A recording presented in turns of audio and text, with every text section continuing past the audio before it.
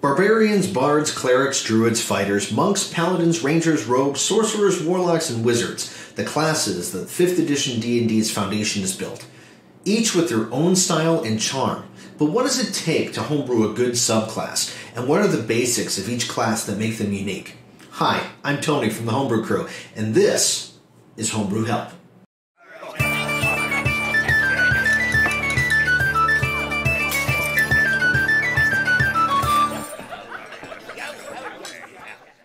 Hey there, and welcome to Homebrew Help, our new series of videos detailing the whys and how-tos when it comes to 5th edition D&D homebrewing. Over the past year since we started the channel, we've seen literally hundreds of homebrew races, classes, and monsters, and have been asked from time to time, what makes a good homebrew?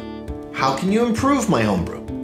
What do you guys think of this homebrew? We've even somehow gotten ourselves into Dragon Plus magazine, and I still have no idea how the heck that happened. So we thought really hard about it, and when it came down to it, it was just too big for one video. Thus, the Homebrew Help series was born.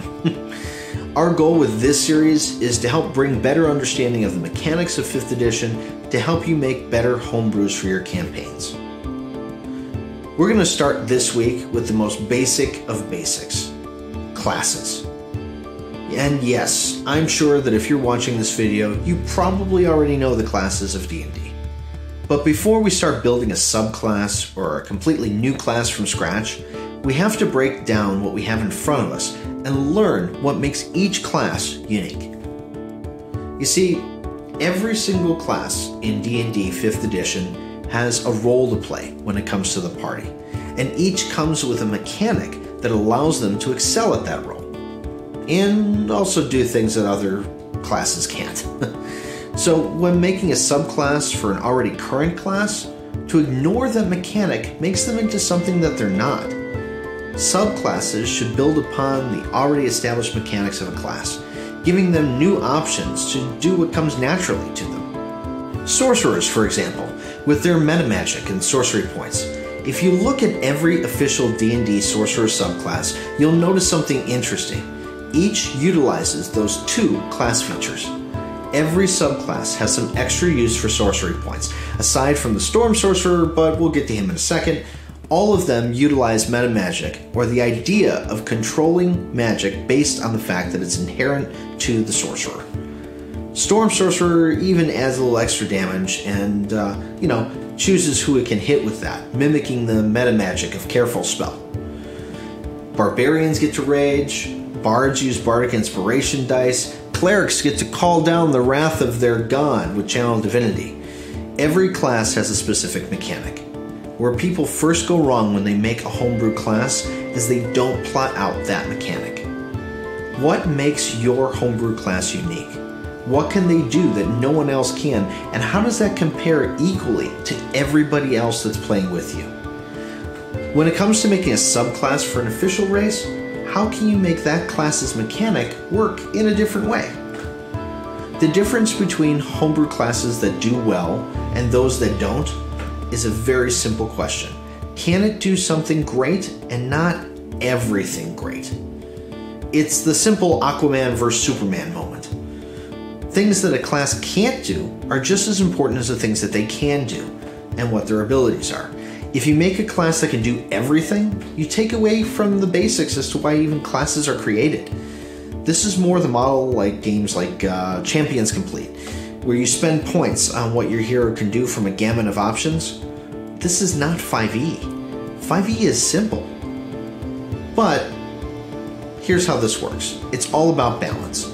Wizards in 5th edition, for example, have very little health and AC and are terrible at hand to hand combat but they have very high spell damage, are limitless in their knowledge of spells, and are the only class that can specialize their magic to do even more. They use the mechanic of specialization to rise above their shortcomings, and because of this, are considered balanced. They can survive just as well as a barbarian if they play to their strengths. Sorcerers, on the other hand, can manipulate how spells fire off. Barbarians get bonuses to attacks and damage. Even rangers with their favorite enemies change the game in some way. But each of them have a weakness. low number of spell options for the sorcerer, advantage on attacks against you when raging for the barbarian, and let's not forget disadvantage on range attacks where you're next to a hostile creature, and the dreaded not my favorite enemy or terrain issue. So, you need a game changer. The first tip is to look at the rules of 5th edition and see how it's played. See what mechanics are missing from player classes. If, for example, your idea is a blood mage, maybe incorporate hit dice or exhaustion as a mechanic to gain power. If you're trying to make a pet class like a summoner or a dragon knight, look at the rules for a familiar and give them things that a wizard's familiar can't normally do, like giving it a full list of actions from attack straight on through search. Now, with subclasses, all you have to do is find a way to play with the mechanic that the class already has. Maybe your Blood Mage is a Warlock subclass, granting him additional abilities from his patron uh, for the number of slain creatures he may have offered him. Or maybe it's a selfless cleric subclass who puts himself in harm's way, submitting his own hit dice to heal others. Or maybe it's a wizard, you know, who focuses on disease or damage over time, and that's tied to his own personal well being and health. Regardless, all you have to do is find the theme of your subclass and see which mechanic works in each class, and see which one works best for you. So, to recap, you gotta know your game. The rules and the abilities are already established in those books and classes. Then use that framework, take your theme that you want to create, and test it with different class mechanics for a subclass, or create something brand new utilizing a rule in the book that's never been played in a player class. I hope this has been helpful in some way, shape, or form, and I'd love to hear the stories and ideas that you guys have come up with as far as classes. If you're having trouble figuring out what works best, drop me a line over in our Discord.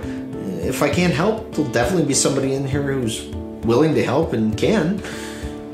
So, I think this series is going to be kind of cool and kind of big. I hope you guys enjoy it. Next week, we're either going to be covering one main class separately and picking it apart and finding a few homebrew examples of it, or we're going to take a look at balancing a submitted homebrew class that people have sent in to us.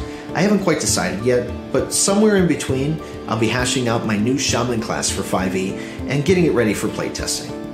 So remember, the best campaigns are always the ones that are homebrewed and homebrewed correctly. So until next time, keep brewing.